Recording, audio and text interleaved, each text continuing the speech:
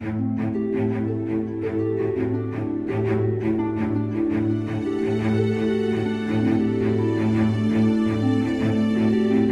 にちは。というかこんばんはなのかな、えー、シーケンスパウトンでございます。えっ、ー、ともう風切りから随分経つんですけどもね。この前ね、えー、私の、え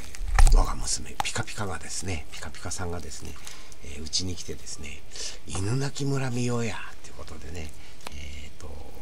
アプリでね犬鳴村を、え設定していただきました。それを見たね感想というかねっていうのの中で、え皆さんとねえちょっとお話ししてみようかなって私なりのね、えー、感想をね映画を見ての感想を、え、ちょっとお話ししたいなと思うんですけどどうでした？皆さん犬鳴村見て怖かったですか？うん、えー、呪音の監督ということでね、えー、3回見ましたもうすでに3回見ましたよ僕えっ、とねちょっとねうんホラーの部分心霊という部分に関してはまあ私の立場からするとね、えー、ハテナ印のつくところが多かったです。これはもう、えー、私の意見ですからね。しかしながらね、映画としてですね、これ昭和24年とかその辺の、えー、ことのいきさつをね、から始まるんですけどね、その当時の時代背景ね、えー、要は第二次世界大戦が終わってさ、うん。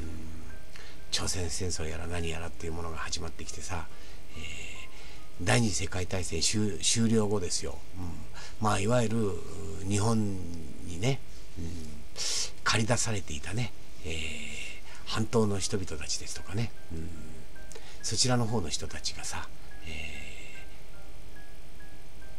大量に浮き上がってしまうような現実があったね。さまざまに暴動を起こしたりですとかね、えー、不法占拠をしたりですとかね、そういったことでもってね、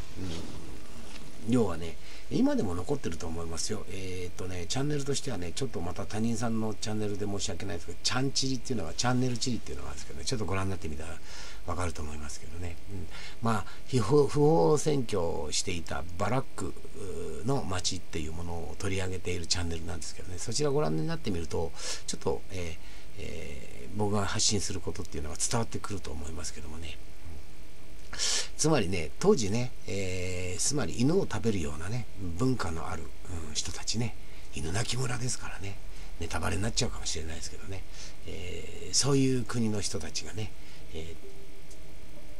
ー、とあるところでもってね、まあ、不法占拠して集落を作っていたと。えー、そこにね、ダム建設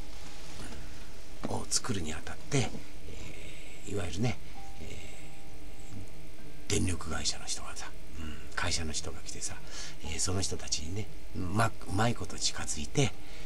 もともとね、えー、不法占拠をして、えー、いる、閉ざされたところで生活をしている、いわゆる犬を食べる文化の中でもってそういう生活をしてた人たちっていうものをね、え、忌まわしいことでもって命を奪ってしまってダムの下に埋めてしまうというねそういう話ですよ。うんその延長線上からですね、え、そこに携わった、え、殺した連中の末裔たちにですねさまざまなたたりが続いていくというような映画なんですけどもね、え、ここの映画の一番怖いのがさいわゆるその、不法占拠をして、うん、集落を作っていたということ、うん、そこもやはり怖いですよ、えー、しかしながらね人として生きるということの権利を無視してね、えー、ここは日本ではないみたいな感じでもって抹消してしまってダムに沈めてしまうような時代背景とかね、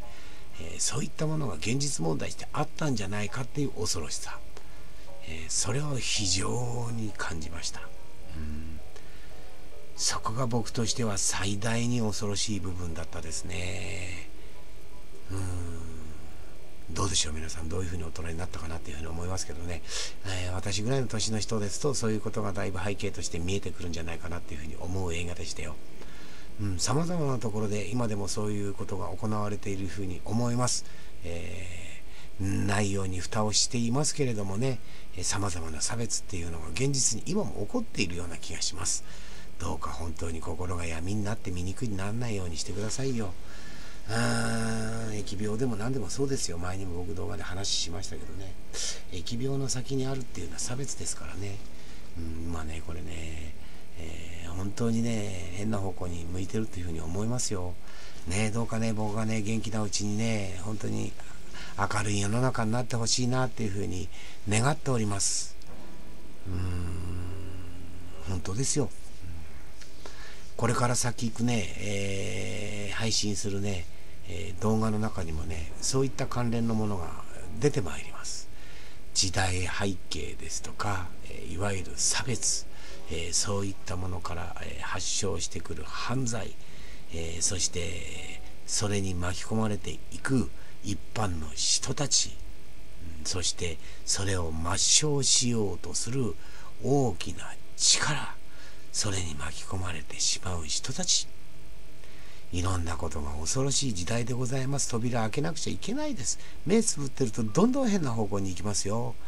えー、目だけ開けてくださいということです。目を開けないと闇はどんどん近づいてきますのでね、えー、本当にねそこのところだけをお願いしてみようかなという配信でございますうちにねオーブが飛んでるオーブが飛んでるっていうふうによく言われるんですけどもね今度ね定点カメラをしてねうちに飛んでるオーブをね捕まえてみようかななんて思ってますけれどもね、えー、どうか皆様からねそういう報告がありましたらお待ちしているということでございます。またホラー映画ね、他のもん見たいなって思ってるんですけどね、私としてはね、テキサスチェーンソーね、あれ本当に面白いですよ。13日の金曜日のが、うん、元になった映画ね、あれ本当にすごいです。えー、実話をね、としてね、配信、作った映画のようでございますのでね、ぜひご覧になってください。えー、グロいです。ひどいです。うん人の闇とね、病んでしまう恐ろしさっていうものをね、存分に出している映画でございますのでね。これからホラー映画のね、夏がやってまいりますので、私もね、頑張って階段作ってみようかなと思ってますので、どうかね、ごひいきに賜ればっていうふうに思います。よろしくお願いいたしますという簡単な配信でございますけどもね。今日は何でいきましょうかね？心霊かもでいきましょうか？幽霊売買でいきましょうかね？えー、犬鳴村を見た感想ですのでね、えー、幽霊売買の方がいいのかもしれないですね。それでは参りますよ。幽霊売買。